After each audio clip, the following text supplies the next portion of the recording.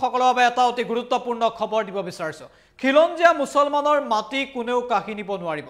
খিলঞ্জীয়া মুছলমানেই হওক কিংবা হিন্দুৱে হওক কাৰো মাটিৰ অধিকাৰ কোনেও কাঢ়ি নিব নোৱাৰিব। এইবাৰ বেদখলকাৰীৰ বিৰুদ্ধে সৰব হৈছে জয়ন্ত মল্ল বৰুৱা। বিধায়ক জয়ন্ত মল্ল বৰুৱা সৰব হৈছে আৰু কেইবাটাও গুৰুত্বপূৰ্ণ মন্তব্য আগবঢ়াইছে এগৰাকী বিধায়ক জয়ন্ত মল্ল বৰুৱাই। আমি জনাইছোঁ এই মুহূৰ্ত সভাটোকৈ জৰুৰী খবৰ। খিলঞ্জীয়া মুছলমানৰ মাটি কোনেও কাঢ়ি নিব নোৱাৰিব। বেদখলকাৰীৰ বিৰুদ্ধে সৰব হৈছে বিধায়ক জয়ন্ত মল্ল বৰুৱা। খিলঞ্জীয়া হিন্দুৱে হওক বা মুছলমানেই হওক কোনেও অসমীয়াৰ মাটিৰ অধিকাৰ কাঢ়ি নিব নোৱাৰিব বুলি মন্তব্য কৰিছে জয়ন্ত মল্ল বৰুৱাই।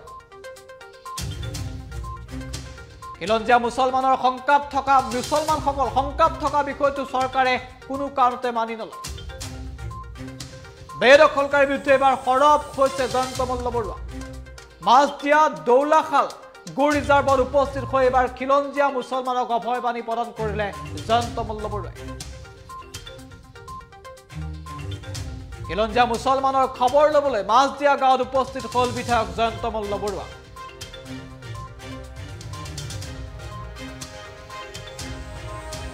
গো ৰিজাৰ্ভত নিশাৰ ভিতৰতে সন্দেহজনক লোকে ইখনৰ পাছত সিখন গাঁও গঢ়ি তুলিছে বুলি মন্তব্য কৰিছে জয়ন্ত মল্ল বৰুৱাই সকলো বেদখলকাৰীকে উচ্ছেদ কৰাৰ কথা ঘোষণা কৰিছে বিধায়কগৰাকী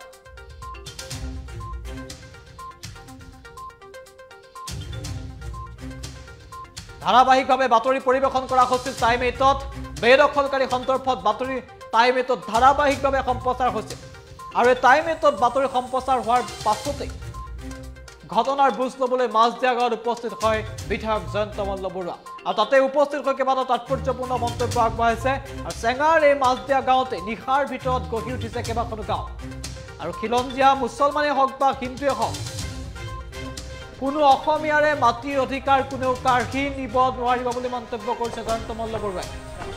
আৰু সমগ্ৰ বিষয়টো পৰ্যবেক্ষণ কৰিছে বিধায়কগৰাকী আমাৰ হাতত মন্তব্য আছে তেওঁ কি কৈছিল এই মুহূৰ্তত আগবঢ়াইছে আমি এটা কথাত স্পষ্ট আমাৰ চৰকাৰখন এটা কথাত একেবাৰে স্পষ্ট যে খিলঞ্জীয়া হিন্দুৱে হওক বা মুছলমানেই হওক কোনো অসমীয়া মানুহৰ মাটিৰ অধিকাৰ কোনো কাঢ়ি নিব নোৱাৰিব।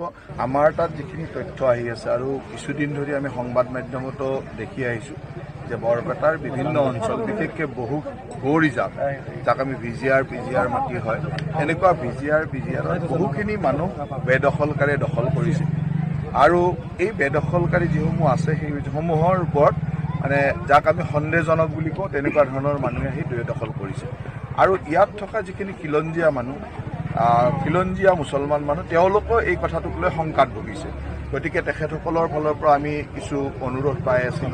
আৰু ইতিমধ্যে আমি উপায়ুক্তৰ জৰিয়তে বিভিন্ন গজ ৰিজাৰ্ভত কেনেকৈ তেওঁলোক আহ, আহিলে কি ধৰণে বহিলে বা কেনেকৈ বেদখল কেতিয়াৰ পৰা বেদখল হ'ল এই গোটেই তথ্যখিনি আমি গোটাই আছোঁ। আৰু আমাৰ কথা স্পষ্ট যে আমাৰ চৰকাৰে কোনো ধৰণৰ বেদখলকাৰীক প্ৰশ্ৰয় নিদিয়ে। য'তেই য'তেই বেদখল হৈছে এই বেদখলসমূহ উচ্ছেদ কৰা হ'ব। দ্বিতীয়তে আমাৰ আমাৰ এটা কথা স্পষ্ট যে আমাৰ খিলঞ্জীয়া অসমীয়া মানুহৰ ওপৰত কৰা শংকা কেতিয়াও এইখন চৰকাৰে মানি নলয়। হওক বা মুছলমানে হওক আমাৰ অসমীয়া খিলঞ্জীয়া মানুহৰ ওপৰত শংকা বা খিলঞ্জীয়া মানুহৰ অস্তিত্বৰ প্ৰতি আশংকা এই কথাবিলাক আমাৰ চৰকাৰে মানি নলয়। আৰু সেইকাৰণে আমাৰ ইয়াত যিখিনি খিলঞ্জীয়া মুছলমান মানুহ আছে সেইসকলৰ মনৰ কথা জানিবৰ কাৰণে মই আজি ইয়ালৈ আহিছোঁ। তেখেতসকলৰ মনৰ কথা মই জানি ল'ম যে তেখেতসকলেনো কি বিচাৰিছে। আৰু ইয়াত কি ধৰণৰ বেদখল হৈছে সংবাদ মাধ্যমত যি ধৰণে বাতৰিবিলাক পৰিৱেশন হৈ আছিল মই স্বচক্ষে চোৱাৰ চেষ্টা কৰিছোঁ যে এই কথাখিনিনো কি। আৰু মই নিজে স্বচক্ষে দেখিলোঁ যে এখ- এখনৰ পিছত এখন গাঁও হঠাৎ ৰাতিৰ ভিতৰতে ইয়াত তৈয়াৰ হৈ যায় গাঁও বনি যায়। তেনেকে আগ্ৰাসন হৈ আছে আৰু প্ৰতিটো দিনেই আগ্ৰাসন হৈ আছে। প্ৰতিটো দিনেই তেওঁলোকে আগবাঢ়ি কৰিছে। আৰু সেইকাৰণে মই ভাবোঁ যে ইয়াত চৰকাৰে এটা কঠোৰ পদক্ষেপ ল'ব লাগিব আৰু মই চৰজমিনভাৱে চাই গৈ যিখিনি মোৰ অভিজ্ঞতা বা যিখিনি মই গম পাম সেইখিনি কথা আমাৰ মাননীয় মুখ্যমন্ত্ৰী মহোদয়ক জনাম আৰু সেইমতে আমাৰ চৰকাৰখনে কাম কৰিব। অসমৰ খিলঞ্জীয়া মানুহৰ অস্তিত্বৰ প্ৰতি মাটিৰ প্ৰতি শংকা আহিছে। আমাৰ অসমৰ খিলঞ্জীয়া মানুহে যি ধৰণে মাটিৰ অধিকাৰ থাকিব লাগিছিল যি ধৰণৰ আমাৰ ওচৰত মাটিৰ অধিকাৰ থাকিব লাগিছিল আমাৰ উদাসীনতাৰ কাৰণেই হওক বা আমাৰ অনভিজ্ঞতাৰ কাৰণেই হওক আমাৰ সেই অধিকাৰবিলাক লাহে লাহে বেলেগে কাঢ়ি নিয়া আৰম্ভ কৰিছে। গতিকে আমি এটা কথাত স্পষ্ট আমাৰ চৰকাৰখন এটা কথাত একেবাৰে স্পষ্ট যে খিলঞ্জীয়া হিন্দুৱে হওক বা মুছলমানেই হওক কোনো অসমীয়া মানুহৰ মাটিৰ অধিকাৰ কোনো কাঢ়ি নিব নোৱাৰিব আৰু মাটিৰ অধিকাৰ দিয়াটো আমাৰ দায়িত্ব।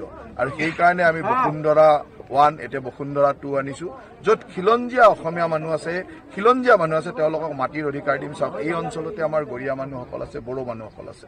আজি গৰীয়া মানুহ আৰু বড়ো মানুহসকলে শংকাত ভুগিছে কোনোবা অনুপ্ৰৱেশকাৰীৰ পৰা। আজি অনুপ্ৰৱেশকাৰীৰ পৰা শংকাত ভুগিব লগা হৈছে আমাৰ খিলঞ্জীয়া মানুহে। গতিকে এই এই অৱস্থাটো আমাৰ চৰকাৰৰ দিনত হ'ব নোৱাৰে। আৰু আমাৰ চৰকাৰৰ এইটো দায়িত্ব আৰু সেই দায়িত্ব আমি পালন কৰিবৰ কাৰণে ইয়ালৈ আহিছোঁ। আন আন এটা প্ৰসংগ লৈ যাওঁ আহ,